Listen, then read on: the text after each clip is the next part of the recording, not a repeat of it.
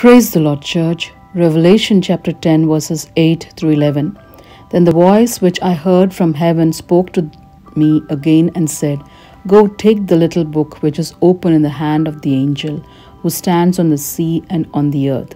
So I went to the angel and said to him, Give me the little book. And he said to me, Take and eat it, and it will make your stomach bitter, but it will be as sweet as honey in your mouth. Then I took the little book out of the angel's hand and ate it, and it was as sweet as honey in my mouth. But when I had eaten it, my stomach became bitter. And he said to me, You must prophesy again about many peoples, nations, tongues, and kings. God the Almighty is the one who revealed his wisdom through his word, recorded them so that all those that receive his heavenly manna will be filled and blessed. John heard voice from heaven that commanded him to take the scroll from the mighty angel's hand. In obedience upon eating the scroll, John finds it is sweet to the taste, but bitter to his stomach.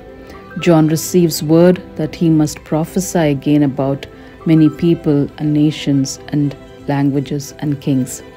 The rest of the book of Revelation unfolds what lies ahead for the Gentiles and the people of Israel.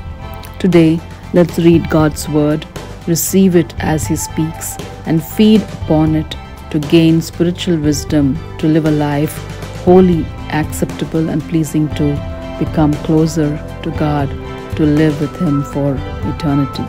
Praise be to our wonder working God. In Jesus' name, amen.